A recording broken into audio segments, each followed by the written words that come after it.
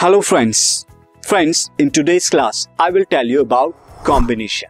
Now, what is combination? Combination nothing but selection. And selection, when you have given n things and you have to select r thing. So how will you select? Now take an example. Let we have four choices A, B, C and D and you have to select two of them. Then how will you select? You can select AB, AC or AD or BC, BD or CD. So there are total six choices out of four. So how can you find with the concept of combination? Now first I will tell you about the formula for the combination is NCR.